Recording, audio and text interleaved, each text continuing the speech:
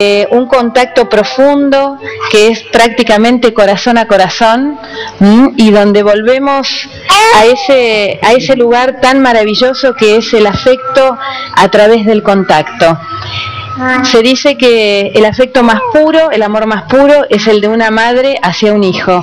Y realmente cuando podemos observar estas imágenes nos damos cuenta que es así. Y aparte esta cosa que, te pasa con los chicos que te cambian la energía. Que Ahora, cuando por ejemplo, si un bebé está fastidioso, ¿conviene hacerle el masaje o hay que, hay que esperar que esté en un estado tranquilito? Mira, es una buena pregunta. Nos, nos ha pasado ambas cosas.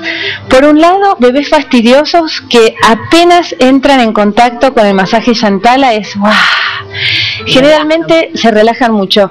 Estos son bebés que ya han tenido algún contacto con Yantala y es como la memoria, el recuerdo del contacto que enseguida los relaja.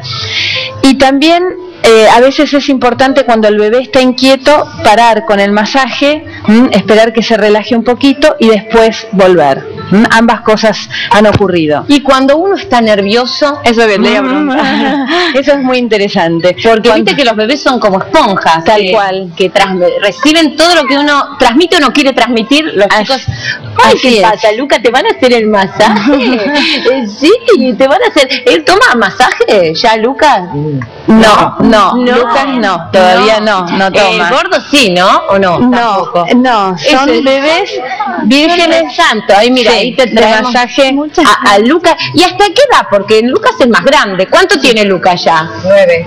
Nueve, meses, tiene Lucas. El otro, como Nahuel tiene un, un, mes, un mes, recién apenas el primer mes. Y se te fue Lucas. Mira cómo rezonga. Se, se fue, fue el amigo. Se te fue el amigo, Uma. Y te decía, ahí hasta qué edad se, se, hacen los masajes. Mira, en realidad no hay límites de edad. Este masaje específico de Chantala se da aproximadamente hasta los ocho meses, un año. Pero después hay otro tipo de masajes que continúan, que son específicos para los niños mientras van creciendo. Este es específico para los bebés hasta un año. Y esto los ah. estimula a los chicos, así como hablamos de los beneficios en el aparato digestivo, respiratorio, que recién están en formación, ¿no es cierto? Exactamente. Todo lo que hace el masaje Yantala es estimular la maduración natural del bebé. money Y todo lo que tiene que ver con eh, la percepción interoceptiva y propioceptiva del bebé. Es decir, el bebé se hace más alerta al mismo tiempo que está más relajado.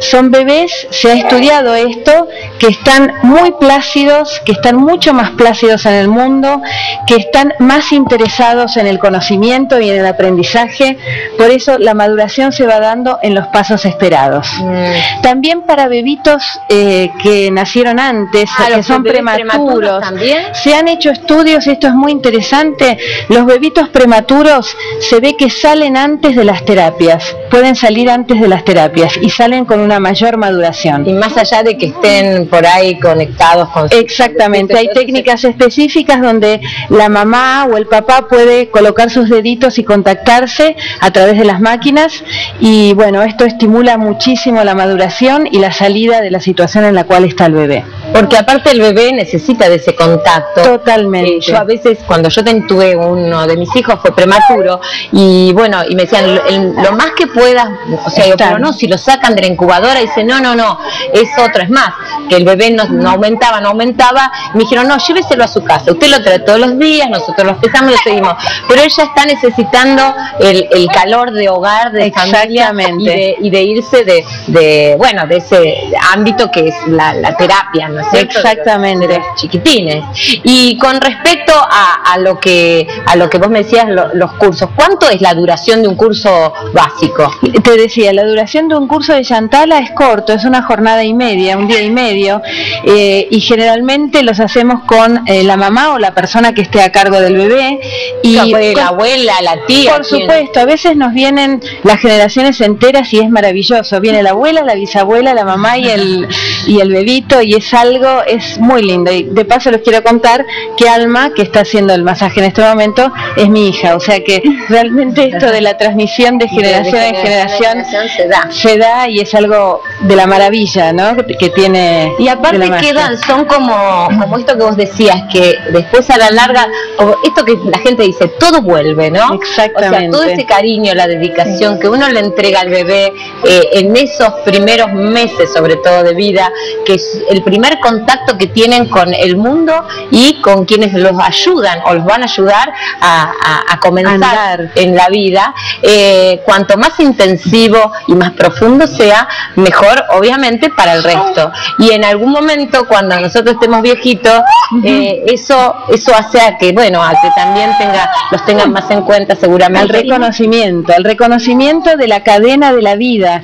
Las generaciones somos una cadena de vida quería comentarte que hay experiencias que se han hecho con bebés que se les da todo de comer, todos los cuidados, todo lo que se te ocurra, pero esos bebés entran en un estado depresivo específico que se llama marasmo, donde finalmente, lamentablemente y muy de manera terrible, mueren. O sea, hoy se hace mucho hincapié en la alimentación desde el punto de vista físico, pero no se hace tanto hincapié en la alimentación mayor que es el contacto. El contacto y el, esa conjunción que es de, almas, de, de, vida, de corazones, De, corazones. Bueno, les queríamos agradecer esta, esta mini clase que nos han dado eh, acerca de, este masaje tan interesante que, que pueden hacer. Gracias Roxana, gracias Alma, gracias a las mamás que vinieron a, traer a sus bebés. Nos vamos a quedar charlando un ratito con Amalia y con Uma. Ay, se queda quieta. Pero vos no hacer los masajes. Y tenemos más show de Iliana en un ratito, ¿no es cierto, Vero? Claro que sí, en el próximo bloque nos visita nuevamente Paola Culio, quien nos dará consejos para que cuando se apague la luz se encienda la pasión. Ya volvemos aquí en el show de Iliana.